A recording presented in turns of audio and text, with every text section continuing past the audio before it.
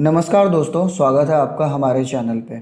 यदि आपको पीएम किसान सम्मान निधि योजना के तहत पैसा मिलता था तो आप ज़रूर चाहोगे कि हमें ये चेक करें कि हमें लास्ट पेमेंट लास्ट पैसा कब मिला था लास्ट किस्त मिला कि नहीं मिला। तो पहले हम जब ये चेक कर, चेक करने के लिए हमें इंडियन गवर्नमेंट की एक साइट थी P M Kisan dot gov dot in यदि आप उस साइट को ओपन करोगे तो ये ऐसे दिखती है, आप पेमेंट सक्सेस दिखेगा राइट साइड में आपको दिखेगा, यहाँ पे बेनिफिशरी स्टेटस है। जब हम इस पर क्लिक करते हैं तो अभी आपको ये आएगा, एक ईरर आती है कि कमिंग सून या page is under maintenance it will be the it will be made available soon मतलब अभी कोई डिटेल नहीं है साइट मेंटेनेंस मोड में है। तो हम कहाँ जाके चेक करें? इस वीडियो में हम आपको दिखाएँगे कि आपको यदि अपना डिटेल चेक करना है तो कहाँ चेक करें। तो गवर्नमेंट की एक और साइट है, जिसे हम लोग बोलते हैं किसान सुविधा। किसान सुविधा डॉट गोव डॉट इन इसको जब आप खोलोगे तो आपको होम पेज पे ही सबसे पहले मिल जाएगा पीएम किसान।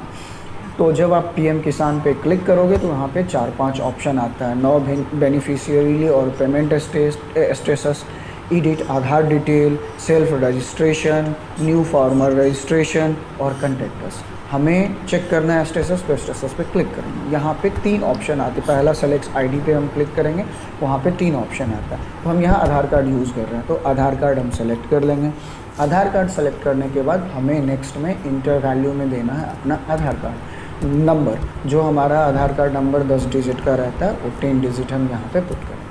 ये देने के बाद हमें क्लिक करना है गेट एक्टिव इंस्टॉलेशन पे। जब आप इस पर क्लिक करोगे तो यहाँ पे भी और सेलेक्ट करने का ऑप्शन है। तो यहाँ पे जैसे देखोगे कि बिहार के लिए आठ पेमेंट अभी तक गवर्नमेंट ने दिया है। उस आठों का डिटेल हमें मिल हम देख सकते हैं। तो जिसकी भी डिटेल देखते हैं लॉक जैसे कि मैं पहली बार आठवां का देखना चाह रहा हूँ तो एट पे क्लिक किए, यहाँ पे मेरे को सारा डिटेल दे देगा अब सिक्स पे क्लिक किए। जब हम सिक्स पे क्लिक कर रहे हैं तो देख, यहाँ पे दे देगा इंस्टॉलमेंट क्रेडिट डेट कब हुआ था इंस्टॉल हुआ कि नहीं रेफरेंस नंबर क्या है स्टेट क्या है, नाम क्या है, आपका विलेज कौन सा है और कहाँ पर होती तो इस तरह से अब आप अपना पीएम किसान निधि का लास्ट किस्त आपको मिला कि नहीं मिला चेक कर सकते हो। Thanks for watching